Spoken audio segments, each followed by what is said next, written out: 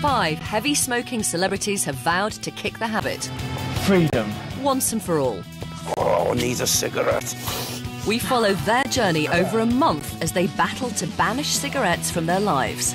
It's going to be really difficult. I feel like I could cry at any minute. I don't want a cigarette, and I'm not going to have a cigarette. I swear to God, I really feel like smoking. God, I'm just dying for a fag. It's been really horrible. Giving up smoking, let's face it, is not an easy thing to do, especially when you've been smoking for the best part of 20 years, uh, 30 years. So how many have you had? I've had no fags at all for two days. Is there proof? This is the proof. All the celebrities have been given a carbon monoxide tester. If that goes over seven, I've had a sneaky cigarette. Today, John has scored one. What score did you get the first time you blew into it? 22. Okay. Really polluted lungs. Really polluted lungs, right?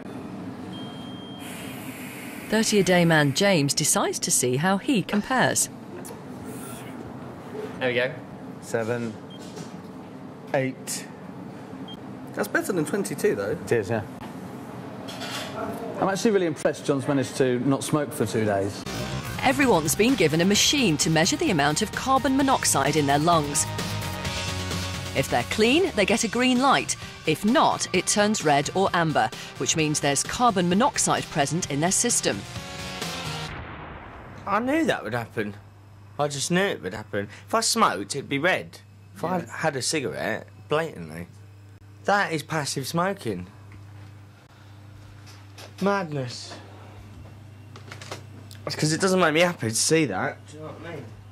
And it doesn't take long for word to get back to our GP. Paul has had a carbon monoxide monitor reading that has flashed up amber. Now, that means one of two things. Either he's been surrounded by smokers for the evening, or he's had a cheeky drag of a cigarette. In East London, Paul is doing his daily carbon monoxide test. If the reading's red, he's smoked. If it's green, he's smoke free. Paul's confidence has taken a knock after a couple of stressful days. But this morning, he's back on track. Or is he? Man. Well, I can't hide it, can I? I mean, I've... Alright, I might as well tell you. When I hurt my leg, and I was in a lot of pain, and I came home and I had a cigarette, and I, I didn't think it'd still be at all. Because all yesterday I didn't, all last night I didn't. I swear I've done, I have done well, and I haven't been smoking. I haven't bought any. These are really sensitive. Anyway, yeah, what can I do? All right. But will his quit buddy's relapse mean Derek's also been smoking again?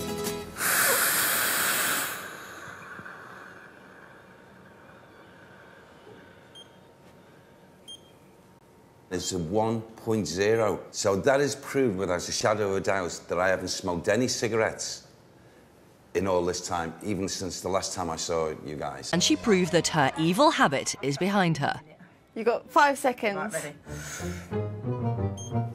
Two, one.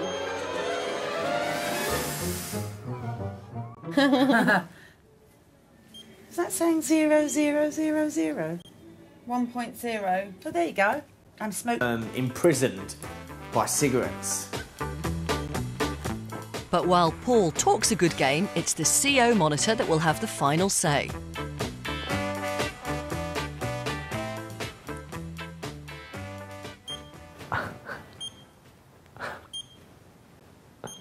I haven't smoked uh, because I had a couple of drags on Friday, but that was, I mean, six is green, seven just goes into orange, so. It's another fail. One drag of a cigarette three days ago would not give a reading like that, so I think Paul's been smoking more than he's letting on. Armed with her CO monitor, Chloe's now going to prove her newfound strength and resilience to her biggest fans, Mum and Dad. Hello. Hiya. You all right? Yeah. What's that? Oh, this breathalyzer type thing. I, I, I think you've been fantastic, actually. Oh, thanks. Oh, has she? Has she? Yeah, Has she? no, no. Okay. Oh, well.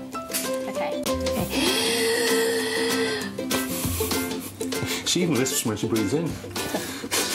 A breathtaking moment. All the way out, please, Chloe. Bit more. Oh. All right. See, I had, there you go, that's it. You're brilliant. Oh, Well done. Congratulations. I'm so. Well done, sweetie.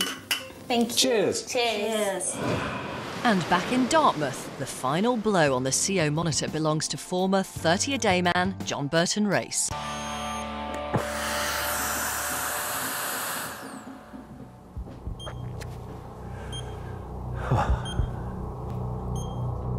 There you go. That's the minimum reading you can get. I remember when I blew into that just over three weeks ago and it was showing 22. oh dear. Anyway, that's good. I'm proud of that, you know.